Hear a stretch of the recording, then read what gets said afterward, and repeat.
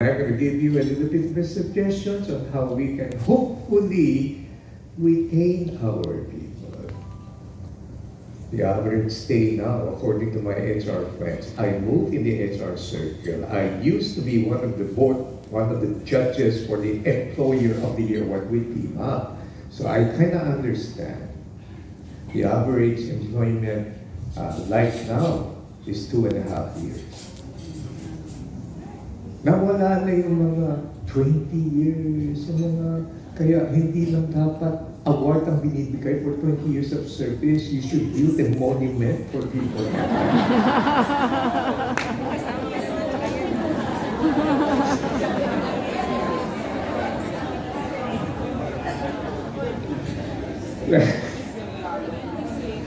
so, let me let me talk to you about the generational mindset. Nakikinig ako doon.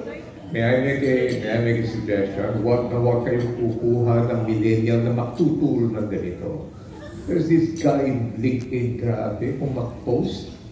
Kasi, ang tinuturo niya, understand the millennial, puro benefiting them without their responsibility. Labo naman.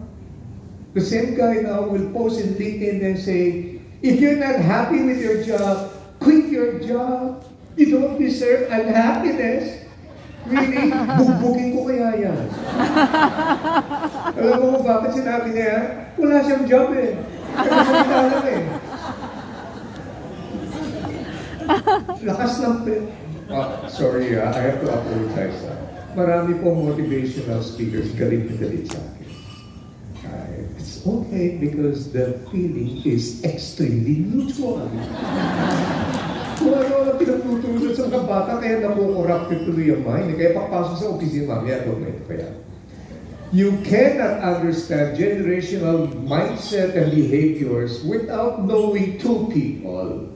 Number one, his name is Martin Lindstrom. Martin Lindstrom is a guru in marketing in Europe. Unfortunately, the Philippines don't know him well. Kaya when my, I write for the Philippine Star, you know. When the Philippine Star organized a convention in uh, SFX convention, uh, they were expecting about 1,500. Only 450 showed up. Hindi kasi siya kilala. But our friends, uh, sister partner ba natin na Nestle, yes. Uh, our, our friends from Nestle, we quietly fly him over in his private jet, conduct a marketing seminar, then quietly fly him out. So he became a good friend of mine. Martin Lindstrom revived a term in psychology called somatic marker. Can you say that with me? Somatic marker. It's now being used in marketing studies. Somatic marker. What is a somatic marker? A somatic marker is a bookmark in your brain, often created by an event so dramatic we never forget it. May nangyari, hindi mo makalimutan. Case in point, taas na lang ang kamay. How many among you still remember 911? Taas kamay. Yeah. Next question. How many of you still remember what you were doing and where you were when one 911 happened? Yeah, that's a somatic marker. And so, Odoy, hmm, uh, Yolanda, forth and so on. For this younger generation, there will be no somatic marker bigger than the pandemic. Okay? So, that's a somatic marker. And now, I want you to put that somatic marker on your left brain because I'm going to bring you somewhere else. There's another personality that you have to learn. She is now known as the guru of generational studies. Her name is Tamara Erickson. So there I was in the conference hall, paglabas ni Tamara Erickson, sabi ko, ay naku, ako rito kasi hindi siya sikat eh. Paano mo ko sisisihin? Yung mga speakers before her were Jack Wells, Jim Collins, di ba? She turned out to be one of the best. In our field of uh, speaking and training, maraming mga magagaling hindi na kilala. So, and, and life is unfair. So, we, one thing I've learned is if I need speakers and trainers, I will never settle for anybody who's not a practitioner. Hindi pwede yung mga theories, theories lang. So, Tamara Erickson came out. Pagkatapos, ma'am, kayo na po ang sumagot, especially kung may mga pedia tayo rito. Sabi niya, What are the ages of the kids that are most significant in their child's development? Anong years? Zero, uh, two, two, six, seven. Yeah, okay. So may sumigaw doon sa audience without even using the mic. Zero seven. Sabi niya, you're right. But those are the physical developments as far as physical senses are concerned. Smell, sight, touch, feel, so forth and so on. But in terms of personality development, the most significant years for their development is 11 to 14. Bakit 11 to 14? Ang ganda ng sagot niya. Sabi niya, those are the years when kids started to tune in to the conversations of the parents when they're having dinner. Ladies and gentlemen, your dining table is the most important piece of furniture in your house. Are you kidding me? That is the place where traditions and values are being passed from one generation to another. O, kayo na magsabi sa akin, what are the usual pieces of conversation when you're having dinner na pinapakinggan ng mga bata? Ano? What did you do? Problems. Ano pa? Schools. Ano pa? Later, oh, what? Somatic markers, di ba? Current events. Yan ang pinag-usang, ano ba yan? Pandemic ito. Ano ba yan? Lockdown na naman, di ba? Yan ang yan ang napupulot nila. Now, I begin to understand. Hindi ko tayo, hindi ako in favor, but now I understand. We dislike all these political dynasties and everything. Yung ano ba yan? Yung tatay governor, yung nanay congresswoman, yung anak ng pa- panganay, mayor. And guess what they talk about every time they're having dinner? Politics. Nakakapagtaka pa ba nalalaki sila mga politicians? Do you still wonder why? Especially in our community, the Chinese community, we talk about business. That's why our kids grow up to become business. Lahat ng anak ko ngayon mga negosyante. Because that's what we talk about. Kaya pag nasa dinner na kayo, wala na kayong pinag-uusapan kung hindi showbiz, lalaki chismoso yung mga anak mo. oh, may effect yan eh, di ba? Oh, so now, dito tayo papasok sa mga different generations, ha? Let me start with the traditionalists. Some other terms given to the traditionalists are the silent generation or the builders. Let's call them traditionalists. How many among you still have relatives belonging to the traditionalists? Ito yung mga pinanganak before 1946. Taas naman. Ah, hindi ko tinatanong yung nandito. Kung may kamag-anak kayo. Meron? Yeah. Oo. Yung iba mukha, pero hindi. No. Ano ang mga somatic markers sa mga pinanganak before 1946? War. So what do you see? You see the Japanese aggression in the Pacific. You see the bombing of Nagasaki and Hiroshima. You find the uh, extended Korean War, the Allied wars against the Axis forces. War. So, ano ngayon ang personality ng mga traditionalists? Look at their personality. Number one, they are extremely frugal. Correct?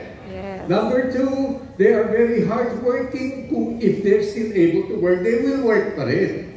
Right? Oh, number three, dito na yung dynamics ng leadership. What? They pay premium to respect. Isang bagay lang ang hinahanap nila sa atin. Ano yun? Respect. You want to piss them off? Disrespect them. They get upset. Gusto mo magalit sila? Pakita mo sa kanila wagas ka sa pera, nagwawala yan. Correct? Oh, ito na ha. Watch this. They have no problem with authority. Kung, na, kung ako ay traditionalist, pagkatapos, nasabi yung kaibigan natin from Mentor City kanina, yung batang bata. Oo. Kung siya, what's your name? ma'am? Maricor? Binago mo lang yung pangalan mo. Ah, how young are you? She look younger, no? So, for example, siya ang boss ko, ako nga, 67 na ako ngayon. Pero siya, 33, wala akong problema because the traditionalist understands the importance of authority. During their days, MacArthur, Stalin, Field Marshal Montgomery, Winston Churchill, they symbolize authority. Walang problema. Oh, what, ha? Kailangan magsabi kung tama yung observation ko, hindi. Ito yung personality nila. they hoard stuff. Ayaw ipamigay, ayaw ibenta. Dahil sila'y lumalaki, there was scarcity. Uh, eto pa, when they shop in groceries, they buy in bulk. Sabi ko sa nanay ko, ma, marami ka na. Hindi, mauubos na ako. Pagbili niya, pagbukas ng cabinet, punong-puno. And they're loyal to one one brand. Yes. Grabe yung nanay ko, magmula nung bata siya hanggang nawala na siya, isa na nga brand na ginagamit ng hair coloring, Bigen. Correct? So, if you have to leave them, no problem. Respect them now. Next, I'm going to talk to you about the baby boomer. Baby boomers are those born between 1946 and 1960. Sino yung mga yan? Taas ang kamay.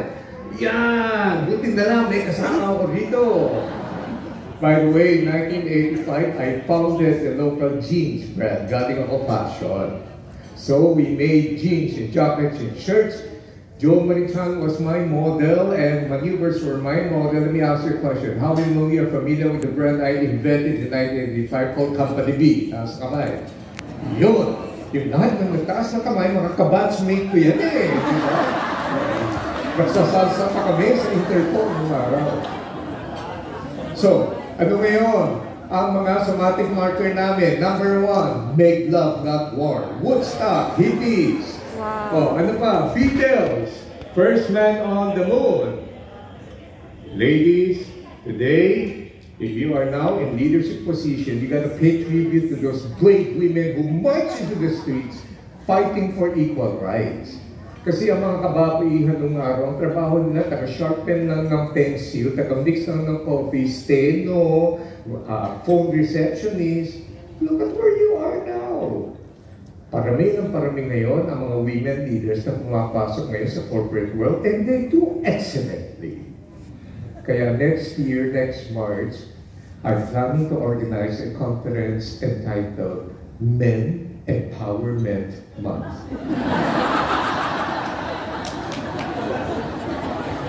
Ang feeling ko matagal na kami embuttered eh, di ba? Kaya saan ko magpunta, majority babae. Lang, di ba? Nawawala yung mga lalaki. The few of them that are left, many of them are not. So, next. I'm gonna get myself in trouble. So, baby boomers, they drive themselves hard. Para sa amin, life is a zero-sum game. Either you win or you lose. Either maging bilyonaryo ka o magiging pulubi ka. So, ang pagkakaintindi ng ibang generation, kami ay workaholic. Siyempre! Bakit? Kanina lang, nag-usap kami rito eh. Kasi pinag-uusapan dito, bakit yung mga millennials, lahat ng pagagawa mo sa kanila, may kwenta. Kami makwenta rin, kaya lang wala kaming power kasi walang option. Eh dito sa mga millennials, ang daming options eh. Therefore, kami mga araw, tsaga ka! Sumikat ako sa negosyo dahil sa company B, pero nag-umpisa ako sa garments industry. Tagabihis ako ng mannequin sa show window. Are you kidding me? How many of you are from Cebu? Taas ang mic. Ah, Cebu. Ma'am, ang mga binibihis akong tindahan nung araw, Rosita Palon, Rosita Puentes, Gasini, sino mga tiga Cagayan de Oro? Meron ba? Cagayan de Oro? Okay, Steve Caisano, siyempre, hindi na ginagawa ko. So, anybody from Davao? Ah, Davao. Isang tindahan lang, pero seven branches. Phil Chris Salas, Magsaysay, Bolton, Industria. Ayun, tagabihis ako ng mannequin. Kaya nga natatawa sa akin, niloloko ni Rubina Gokongwe. Eh. Sabi niya, grabe Francis, you used to help my mom fix our window in Robinson's Ermita. Sinong dalawa ni Hardy nagbibiroan. Ngayon, nakaupo na kami, nakikinig na sa'yo. Walang option eh. Pwede bang sabihin, ayaw ko na, lilipat na. Walang paglilipatan. Kaya kung i-compare mo, tayo ng araw, di ba matyaga? Hindi pareho ang standard eh. You getting it? Yeah. So, yung nanay ko, belonging to the tradition is, grabe, tigas ng character niya. Ah, nag-away kami na nag-aaway every day. So some people ask me, how come Francis, you're so you're so articulate in public speaking? Sabi ko, I have daily practice fighting against my mom.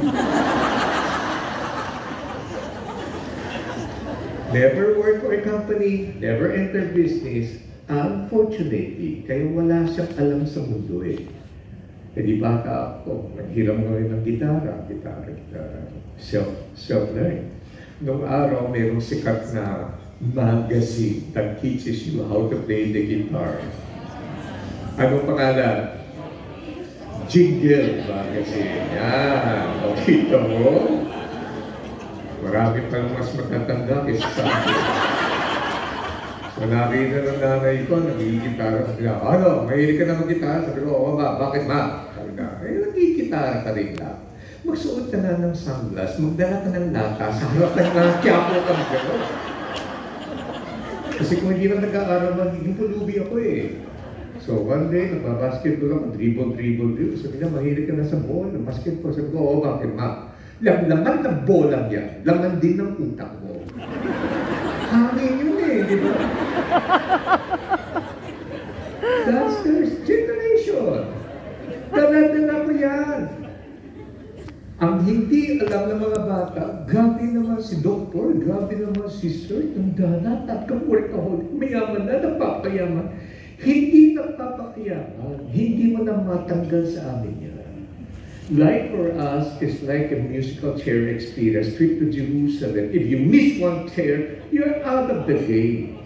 Bigyan mo na ako ng seven days na wala akong trabaho, bakasyon, I feel guilty eh. Baka mapobre na kami niya, yung pamilya ko, paano niya? My goodness. So, bakit? Let's go back to somatic experience. Because nung araw, Neil Armstrong, first man on the moon, America won, Russia lost. Martin Luther, fight against segregation. Martin Luther won, the whites, the supremacists, they lost. Ang buhay nung araw, sino panalo, sino talo. So dala-dala namin yan. Our personality is fashioned by the somatic markers. Are you getting it? Yes. Yeah. So, let me bring you now to Generation X. Generation X are people who were born between 1980 to year 2000. Marami yan dito. Sino po kayo? Taas ang kamay. Yan.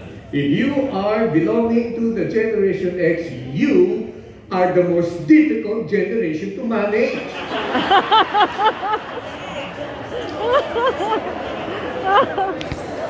why? Ask me why. Why? I'm so glad you asked. Because you are the most suspicious generation of them all. Oh, sige nga, ano yung pinakasikat na American television series that sociologists say exactly depict your character? Sige, sino? Ano? What's the American television series na sumikat? Huling-huli daw yung pag-uugali ng Gen X. Ano? Hmm. Ha? Oh. We may not have time, ha? Sweetheart, i-play mo nga yung soundtrack.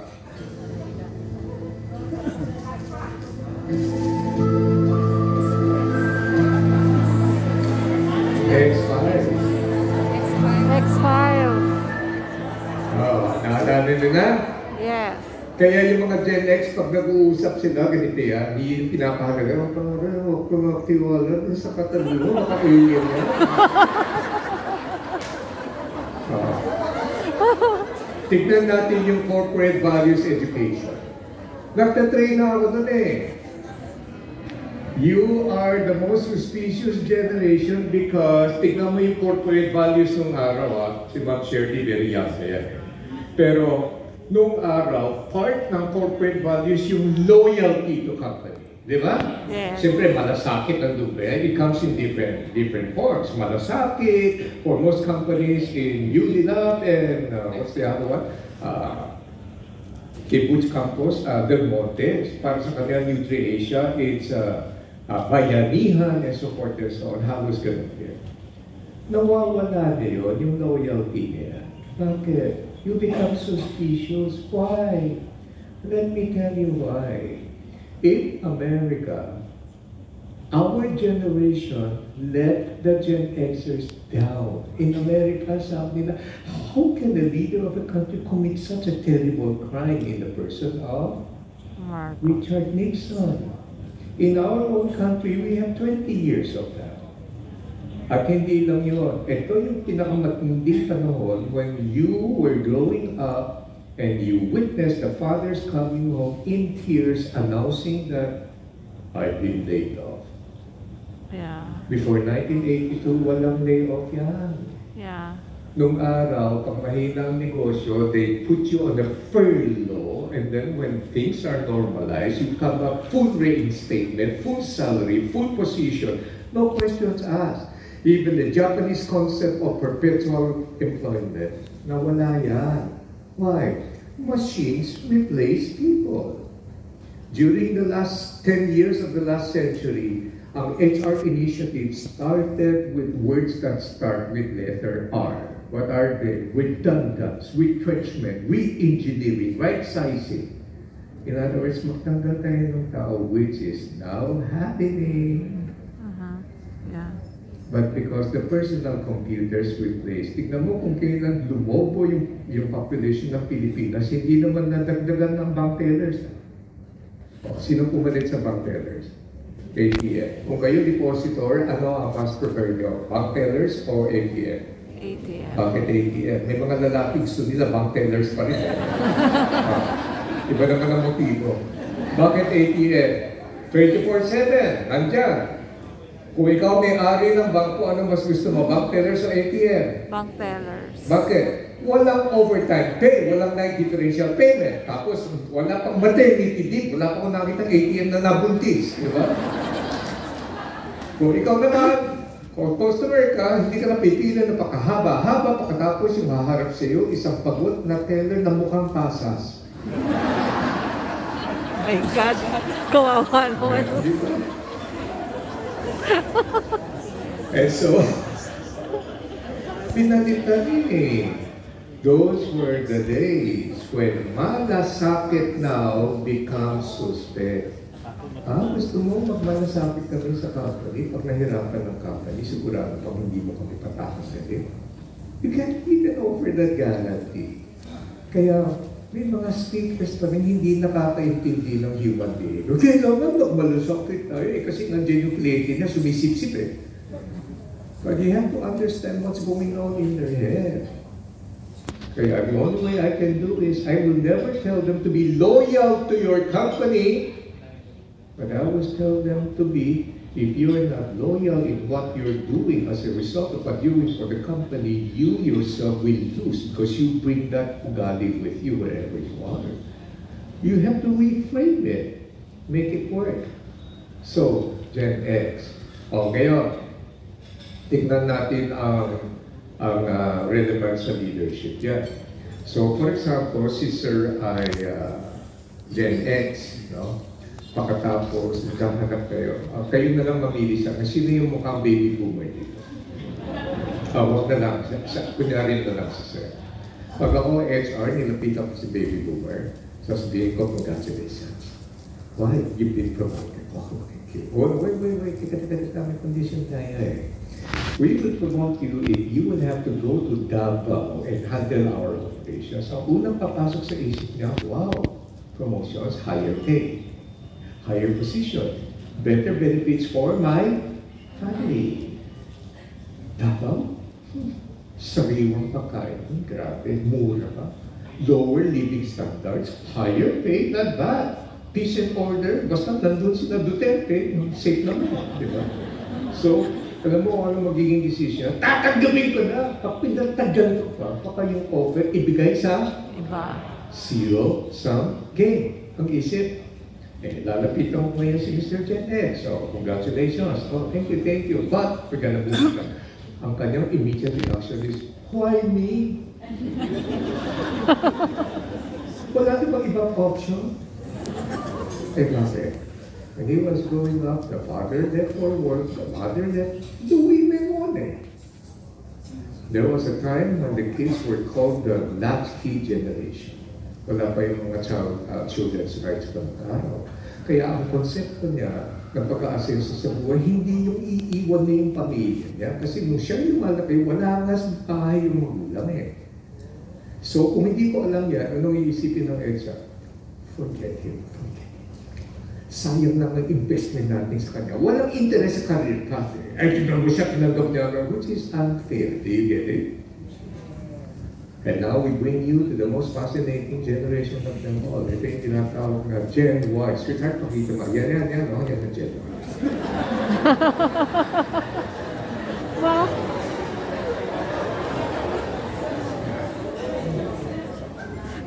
Otherwise called the millennial generation. So, these are the people born between 1980 year to don't get too technical and legalist. So, mini round off ko na lang yung number. So, how many among you belong to Gen Y? Taas na naman. Marami na yan, di ba? Now, if you belong to Gen Y, I've got good news and not so good news for you. Which one do you want to hear first? Good news. The not so good news is that the Gen Y are getting old. Welcome to the club. Kung araw pinagtatawan niyo ako ha, ako, di ba, matanda na ngayon, kasama na tayo. And so, uh, what are the somatic markers for Gen Y? Number one, 911, international uh, terrorism, suicide bomber, melting of the Arctic ice, and then climate change. When I was in conversation with the world famous Simon Sinek, sabi sa Francis, the term Simon Sinek, uh, sabi Simon Sinek, the term climate change is stupid. I said, why? Climate is supposed to change. Kaya pala, for the longest time, hindi binibigyan ng urgency. Suppose you call it climate cancer. Kung napansin mo, wala na gumagamit ng term climate change. Now, why are we call, what are we calling it? Climate crisis now. So going back there, the biggest, the biggest somatic marker is none other than social media. No? Now, tignan natin ang characteristics nila. Understand, lahat ng anak ko millennials yan. At hindi lang yan. Yung tatay nila, trainer pa, tsaka speaker. Negosyante pa. Can you imagine? Ang conversation namin sa bahay, sweetheart, what are your two-year plan, five-year plan, ten-year plan? Parang HR ako eh, di ba? Parang. Tuwing nagtatanong ako ng ganyan, ito yung observation ko. The millennials have mastered the art and science of rolling their eyes.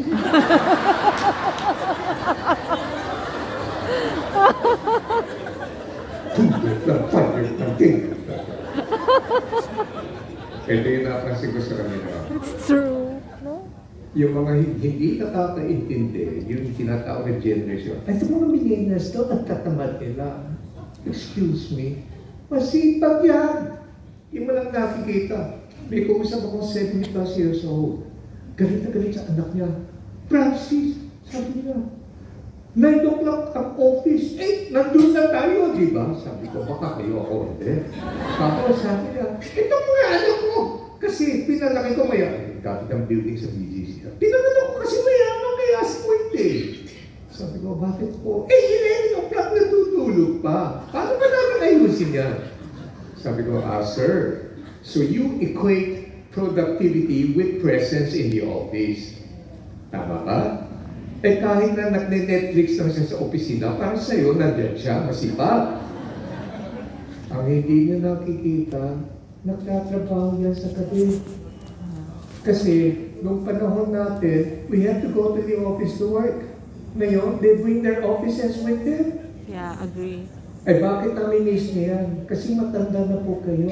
8 o'clock, tulog na kayo eh. You get the disparity? Yeah.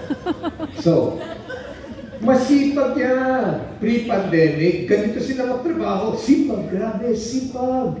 Pag nakaipon na ng konti, yan, travel fair, baksak lahat, back to zero, sipag ulit. So their number one plan is they don't want to make plans for the future. Kaya ano ang favorite expression nila? What is YOLO? You live once. Yung mga graduate ng namamahaling eskwela, hindi na magbabanggit ang mga kulay asul na mga berde niya, sasabihin na carpe diem. Pareho lang yan. Bakit? Oh, you gotta go to the psychology kung bakit sila ganun mag-isip. Two-year plan, five-year plan, ten-year plan. Sumakay ka sa bus, yung katabi mo, ba mo, mamaya kakain ka na. I might as well enjoy the moment. Yeah. Tapos dinagdagan pa ng FOMO. So what is FOMO? Of missing out. Somebody sends them a photo of an asawa niya. Ay, gusto ko yan. Mamaya mawalan ako niya kaya wala siyang pera. Gusto ko yan. Fear of missing out. Uh, eh ngayon, because of the pandemic, yung FOMO naging JOMO. What is it? JOMO now means the joy of missing out. They're learning. Tsaka yung mga millennials, nagmamature na naman sila. Nagkakaroon na ng pamilya. Ilan na sa kanila ang nag- magsusulat sa akin sa Facebook na, Sir, tama pala kayo nung araw, napakinggan ko kayo. I've been in this business for the longest time. Anybody here from Bacolod? From Bacolod, ma'am. Uh, St. Lasal University, may lumapit sa akin, ganda-gandang bata. Sabi sa akin, Sir Francis, actually, this is not my first time to hear you speak. So, because that's so, when was the first time when I was in elementary? Sabi ko, shut up. alam na, alam ko na yan.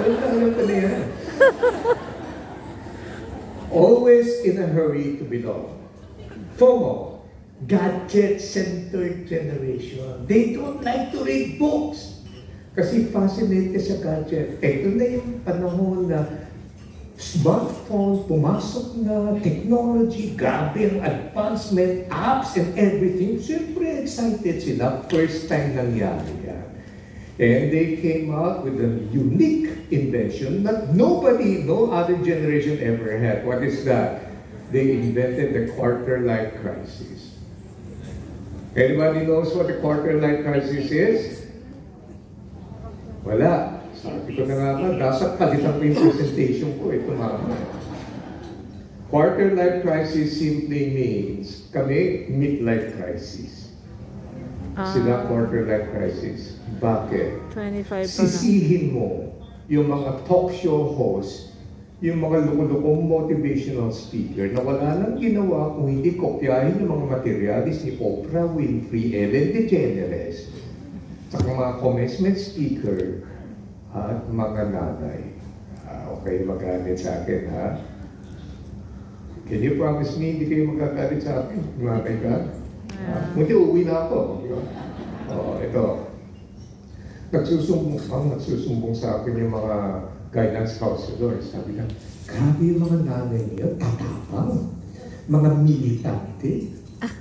Dala-dala ngayon yung project ng anak, lulusubin yung teacher. Bakit ito lang ang grades na binigyan mo sa project ng anak? Hindi mo alam, tatlong araw ginawa. Ano mo ba't galit siya? Siya gumagawa ng project. Mababa grades na sasaktan. Oh. At hindi lang yan.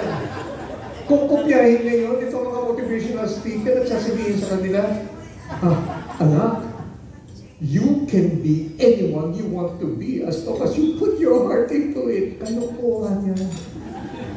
Can you imagine Shaquille O'Neal, the former NBA center player for Lakers, wanting to be the best horse jockey in the world? Imposible yan. He's bigger than a horse.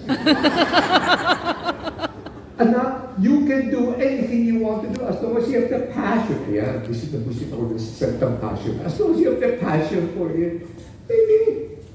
I played varsity basketball when I was in high school. At the time, at that time, height was not a major consideration. Until now, I still cannot slump down even though I wanted. And nandun naman yung passion ko. Tapos, ito na mga bata. Francis, my passion is travel. Sabi ko, hobby yun. Wala eh. Ito na yung panahon, I don't know if you remember. Ito yung panahon ng mga batang lumalapit sa amin, nagsasabi, Sir Francis, talk to my mom. Sabi ko, what's your problem? Talk to her. Sabi ko, bakit? Do I really have to go to school in order to be rich? Ah, remember?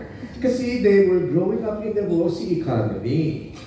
Do I have to go to school? Look, look at Steve Jobs, look at Mark Zuckerberg, look at Bill Gates. They all drop out from school, yet they're the richest men in the world. Yeah, that's true. Yeah. So how, how, how are you gonna argue against that? Ah, meron ako naisip. Sabi niya, oo nga, ano? Yes, sabihin mo sa nanay ko. Sabi ko, wait, wait, wait, wait, wait. Sino nga yun? Sino? Bill Gates. Uh, yung isa, sino? Mark Zuckerberg. Sino isa? Steve Jobs. Oo nga, ano? Drop out. Sabi, di ba? Di ba? Oh, wait, wait, wait. Hindi ka na napag-isip. Hindi ka na napag-process. Dapat ang tatanungin mo, from what school did they drop out from? Oh, Harvard. Ikaw nga, di ka makakwalify. Drop out ang iniisip mo. Mag-aral ka.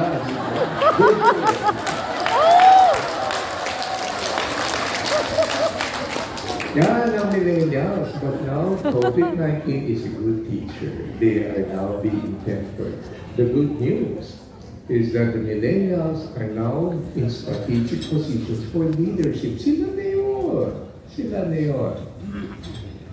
And they are entrepreneurial. Marami sa kanila pumapasok sa negosyo ngayon. Now, the last generation is, ito na yung mga bagong nurses na pumapasok, Generation Z. Generation Z, technically speaking, is anybody who was born after year 2000, kaya nga millennials representing millennium. Although scientists are saying start of 1995, Gen Z na siya. Let me give you the characteristics of Gen Z. Number one, they are the Google reflex generation. Yung mga Gen Xers, galit na galit sa millennials yan. Sabi ka, pagkausap kita, bastos ka. Bakit ma? Panay yung tingin mo sa phone. Fascinated kasi sila sa social media. Today, when I speak to the young people, I love that they are looking at their phones. Why? They're not doing social media, they're fact-checking me. Kaya baldado ngayon ang maraming speaker eh. Habang nagsasalita, yung saka ano ha, ang start nila, biglang tatayo yan. In, insane kasal, nangyari sa akin yan. A whole gym full of 2,000 plus. Habang nagsasalita, tumayo yung isang bata. I don't believe what you say, sir. Ganon. Hiyang-hiya sa akin ng mga teacher. Siyempre, ang isip nila, hindi na natin binabayaran itong speaker. Pinapahiya. I don't know why I always get those experiences doon pa sa mga hindi nagbabayad. Kaya I think I should. Eh, buti na lang may experience na ako, so I know how to deal with it, di ba? Ganon yun. So they fact check. Kaya, paano pabubulahin ng mga yan? Ito yung kinukwento natin because they have so much data, they have so much information, they think they have higher expectation. Hindi lang. Habang kinukwento ko yung mga unrealistic expectation, his name is Rufy. Rufy is one of the highest officers of a well-known company called Mornisin. Sin hinampas niya ako, sakit eh. Sabi niya, pare, totoo yan. Sabi ko, bakit ano? Ako mismo nakarinig. Dean ng university, kausap yung graduating class. I won't mention the name of the university kahit na blue ang color niya. Sabi niya, because you are going to graduate from this university, I expect all of you to make it to vice president position in five years' time. Uh, Sister President, very pare kasi yun. eh. Kaya siguro hindi, di ba? Laging problema sa ito yung mga yan, di so, so, yung mga bata, gullible, impressionable. Paglamas, di ba? Pasok sila ngayon sa medical city. Di ba? Ano yan? Four years na po rito. Yung mga vice president namin, hindi pa namamatay. Paano ako magiging vice president? Nandiyan ka. Diba? Eh, mahaba pa buhay ng tao. Kita mo ngayon ang naging hari si Prince Charles, ba? Tagal. Yung iba naman pumasok sa mga company, paano ba yan? Wala kami vice president dito. Unrealistic expectation. But because we don't know all these detailed details, we just granted as the may entitlement, gusto nila instant success. You got to understand all this nitty-gritty. Pero I'm telling you, Gen Z are the original digital natives. Ang hirap aralin ng digital, bigay mo lang sa kanila, give them half an hour, gawa na nila. Oh. Yung mga kaedad ko, yung grabe, may kausap kong teacher. Sabi ng teacher nung araw, ano, ano, alam mo, Francis, yung mga computer para sa bata lang yan. Ako nga, di pa nga ako nag-i-email. Sabi ko, ma'am, hindi po pinagmamalaki yan. Kinahihiyan ko yun. Tapos napunta naman tayo sa digital transformation. O ano na naman ang... Ay, ako yung digital, digital na yan para sa mga bata lang eh. Yung COVID-19 dumating. O, ay di na-lockdown sila. Ano ang na-discover nila? Pwede rin pala ako mag-digital transformation kasi natuto mag-TikTok. Pwede rin pala. This is why Shirley is right when she is saying that you gotta transform your company and your organization into becoming a perpetual learning organization. Learning. Ito, ito yung sa akin. ha. When things are in a state of flux, you want to talk about the new normal. Let me talk, let me tell you what the new normal is. The new normal is chronic instability. That's what the new normal is. So you gotta keep on adjusting. Methods will always change, but the mission remains the same. I still want my children to be good. Now, I'm adjusting. Bigyan niyo lang po ako ng two and a half years. Nagpiprepare na ako ng lesson on effective grandparenting. Kulang ako sa experience, inaaral ko yan. So, the mission of wanting my children to be successful is still the same, but the methodology, ibang-iba na. And by the way, for your information, your nurses and the Gen Z, they are now referred by sociologists today as the most anxious generation. There's a suicide attempt in two Chinese schools just very recently. Wala pang one month. There's a high degree of uh, depression happening right now. Eh, paano? Tignan mo naman yung mga media. Prinsipe ka na nga at saka prinsesa ka na nga. Eh. Nakukumbate ka nga, may mental health issues ka. Samantala ang buong mundo namamatay dahil sa COVID-19. How, how kapal can you be? Pero pag pinapanood ngayon ng mga bata, akala nila yun yung default eh. Now, Ma'am Shirley, talk a little bit about retention and hiring.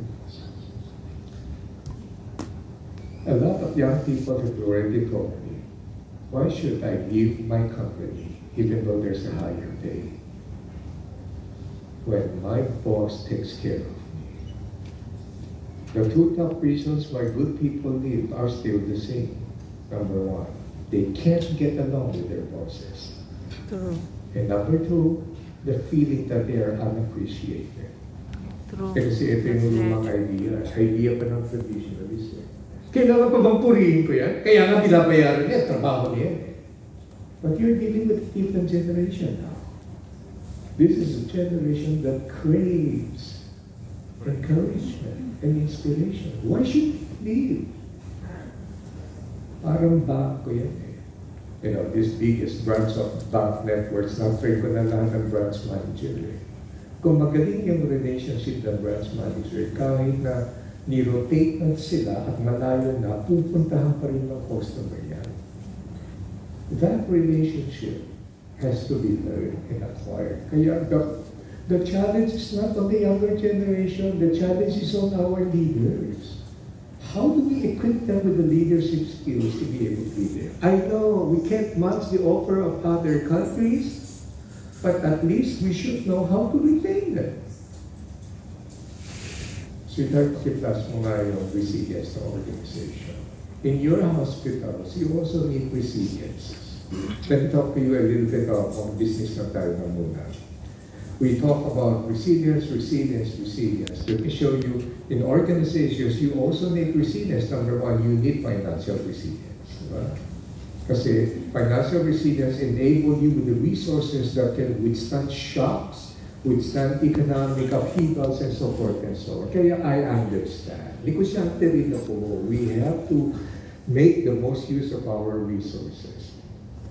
Number two, you got to have operational resilience. Just for your information, I'm now the brand ambassador for Globe, for SMEs. Kako, pareho lang ang beta. Ah, Hindi naman nadagdagan eh. Pero nag-increase yung efficiency mo, nabawasan ngayon yung wastage and everything, you earn more. Simple-simple lang.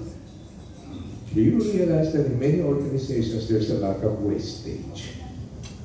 Number three, you gotta have reputational resilience. Kasi ngayon, in order to attract good people, you gotta have a good reputation outside. Di ba?